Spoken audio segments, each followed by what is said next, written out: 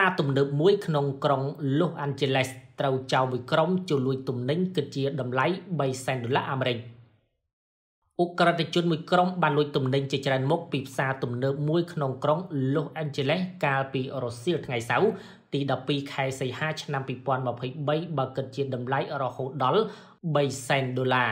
នេះបញ្យងតាមការចេញផ្សាយដោយសារព័ត៌មាន AFP នៅថ្ងៃអង្គារទី15ខែសីហាឆ្នាំ2023 នៅក្នុងសេចក្តីថ្លែងការណ៍មួយនៅលើប្រព័ន្ធផ្សព្វផ្សាយសង្គមប៉ូលីសទីក្រុង Los Angeles បានគូបញ្ជាក់ថាមនុស្សមួយក្រុមបានចូលទៅក្នុងហាង Nordstrom នៅក្នុងមជ្ឈមណ្ឌលផ្សារទំនើប Westfield Topanga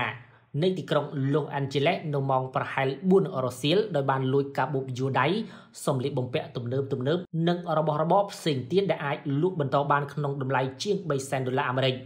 ជាវិញករណីនេះប៉ូលីសបានសង្កត់ធ្ងន់ថាចំពោះអ ுக ្រិតជនវាគ្រាន់តែជាការលួចទ្រព្យសម្បត្តិតែប៉ុណ្ណោះប៉ុន្តែចំពោះអ្នកដែលរស់នៅក្នុងតំបន់នេះនិងគ្រប់ទ្រព្យផ្សារទំនើប Fairfield to Penga វិញ